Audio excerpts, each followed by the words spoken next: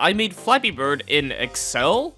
Most people would use Excel for creating spreadsheets, but what if I told you it was completely possible to make a game entirely within Excel? Turns out there's this thing called Visual Basic for applications integrated within Excel, and it allows you to program within it. So knowing this, I attempted to create Flappy Bird in it, and here's how it went. The first build of the game consisted of a yellow cell that fell to the ground. Next up, I had to get input to work, which was quite simple, as I implemented key input and created a jump subroutine that's called whenever you press the up arrow. Next, I had to create the bird sprite, which took ages since I manually had to fill in each cell, but after this, I was able to draw this sprite instead of the yellow cell. Next, I added some characters and created a method that would draw a new game window. Then it was time for the pipes, which was a bit more complex than I thought, as I had to work within Excel's limitations.